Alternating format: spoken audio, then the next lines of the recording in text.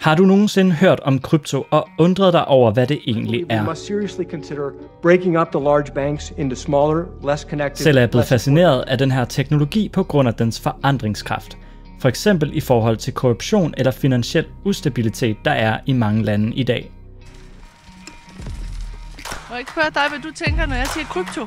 Krypto, det er jo noget øh, digital valuta. Jeg tænker ikke krypto og penge. Svend. Det er noget valuta. Det ikke. Det ved jeg meget lidt om. Altså, jeg kender ikke til det. Det er jo og så hører jeg bare lidt usikker. at man ikke har købt risikoen er stor. Bitcoin. Jeg må også med aktier. Det kan jeg Nej, det aner jeg. aner ikke, hvad du taler om. Det må jeg indrømme. Det er sådan en lav. Sådan en her, ja. Jeg holder mig til kroner og øre helst. Altså, altså ikke, øh, ikke sådan noget fake øh, materialer der. I den her podcast ser jeg ved at dele min viden og erfaring med dig, så du også kan få en dybere forståelse af, hvad krypto er og hvordan det kan påvirke vores samfund. Det er hverken en salgstale for krypto eller et investeringsråd. Derimod er det en samfundsserie. If an institution is too big to fail, it's too big to exist, let's break it up. Rigtig god fornøjelse.